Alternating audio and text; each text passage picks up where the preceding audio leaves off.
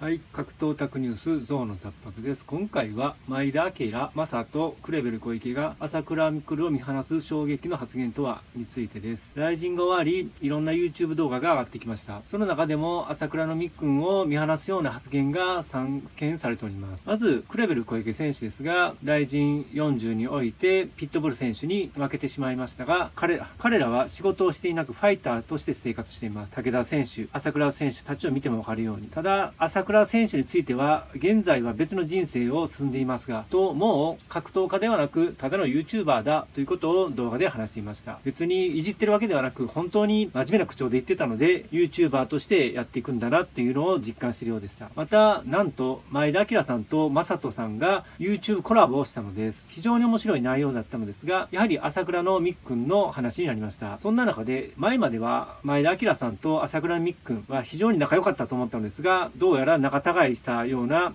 発言が散見されました。その中で朝倉兄弟ってすごいラッキーだったんですよ。コロナ禍になって海外に強い選手が来られなかったから、シュートのロートル競合から順番にせり上がるだけだから大利益があったんですよね。というような話でした。大臣側としては本来ならば海外対日本人でやっていくつもりがコロナで海外勢寄れなかったので朝倉兄弟をスターにしようとし、まあ、いわゆるロートルのシュートの競合というのは引退間際のほとんど勝ててない日置初選手やや、またまた引退間際のリオン武選手もほとんど勝ててない状態で、朝倉未来は戦いました。名前はあるので、勝てばすごいことだってなるのですが、実際はもう負け越して弱い状態のロートルを戦っただけなのです。それで名を挙げて大ラッキーだということを朝倉のミックのことについて前田明さんが評価したのです。今までだとこんな裏の事情は言わなかったのですが、言ってしまいました。もっと使い加えると、いわゆる68キロミクル豚級でフィジカルの弱い相手を呼んできたり、あとはなんとかサラスやなんとかマカパのように弱い相手を呼んできたのです。このようにして作られたスター選手というのを前田選手は、前田明さんは伝えたのです。本当に言ってはいけない朝倉未来君の裏事情を言ってしまいました。手のひら返しと言ってもしょうがないでしょう。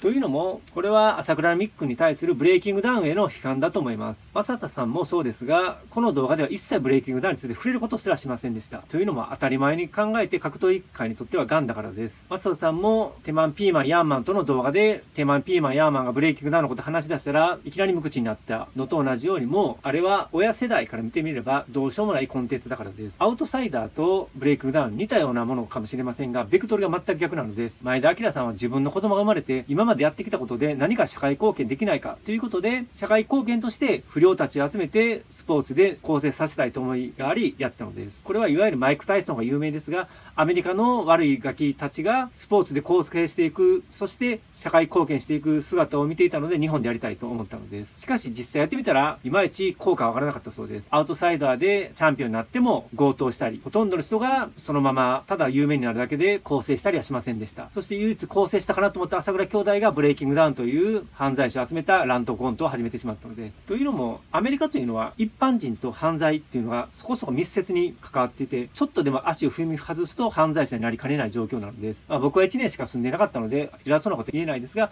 そのような関係がありました。ただ日本というのは真面目に働けば人手不足なので、真面目な人が犯罪手を染める可能性はそんな多くありません。やはり犯罪染めるっていうのは自己中な悪い奴が多いのです。ですので、アウトサイダーはなかなか更生した人が出なかったのではないでしょうか。そして、更生させたいと思いで作ったアウトサイダー。ブレイクダウンは真逆です。応募フォームに犯罪歴が書いてあり、犯罪を犯せば犯したほどオーディションに呼ばれ優遇されます。そして、オーディションで呼ばれて、よく知らない人たちに喧嘩を売って、乱闘して、相手を乱闘すればするほど抜擢され、目立てて金が儲かるのです。前田日明さんが更生させようと思いでやったアウトサイダーですが、ブレイキングダウンは逆に犯罪者が乱闘や喧嘩などで社社会から踏み外した行為で得する、儲けるという逆に犯罪を助長しているようなしょうもない炎上イベントを作ってしまったのです。ですので親世代の正人さんや前田明さんは一切ブレイキダウンの部の字も言いませんでした。このように格闘業界のお偉方から手のひらを返され、そしてダルスミ小池からもただの職業 YouTuber と言われたのが朝倉未来君です。ただブレイキングダウンも似たようなものが出てきてあとは喧嘩したものもイベント後には仲良くなって実はいい人でしたしょうもない YouTuber を撮るのでもう飽きられてくるでしょう。せいぜい23年ではないでしょうか。そして朝倉みっくんは今年引退するみたいなので